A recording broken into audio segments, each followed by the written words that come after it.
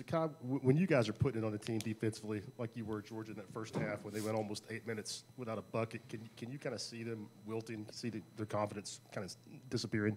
Oh yeah, I definitely can, and honestly, I feel like that's the whole point. Because when we see teams getting down, it just boosts our confidence, and that makes us get even more confident on offensive end.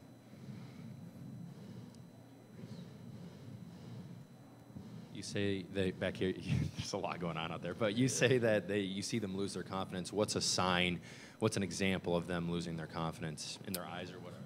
Uh, yeah, I would just say head down, uh, them getting frustrated at each other, and like them, them just not being themselves. And what we seen on film, them not doing that.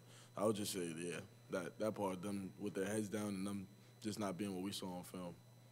What does it say about y'all as a team to win a game by 30 when two players score in double digits and you just led a team with 11 points?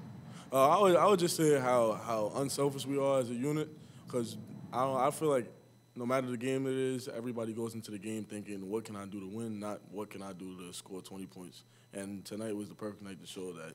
No, I, I didn't even know I had 11 points or whatever it was, and no, I don't think anybody in the locker room know what they scored or what however many shots there was. But I would just say it just shows the unselfishness of this team. You said one of those signs that you're kind of getting to a team defensively is they don't look like themselves. How often are you seeing that from teams this season? Uh, I saw I saw a, a pretty good number of times, honestly. But uh, in the few games that we didn't, we, we, we know what the outcome was, and from we learned from those games that no matter who we are offensively, that defensively, that's where it starts. And once we shut them down on defense, that transitions into our best offense.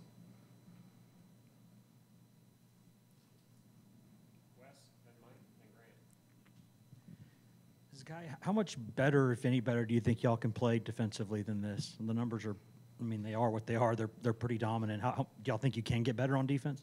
Yeah, uh, nobody's perfect, no matter what. And a perfect defensive game is the team not scoring. I would say. So for however many points they scored, we know that we we probably had a defensive breakdown, and we can get better on that end. What do you remember about playing at Texas last year, and how much are you looking forward to, to that matchup again? I remember us losing and them winning. That, that, that's how I'll put it. Uh, it it's going to be a pretty good matchup, and we're just looking forward to it. You looking forward to a little bit more, another chance at a big home game against a top ten opponent. Uh, I wouldn't even I wouldn't even say that. I just know that our last time we matched up, that they beat us, and we, we remember that feeling, and we we're not gonna have that feeling next time. Next time on Saturday. Anything else for Scott? All right, Scott, thank you. Thank you.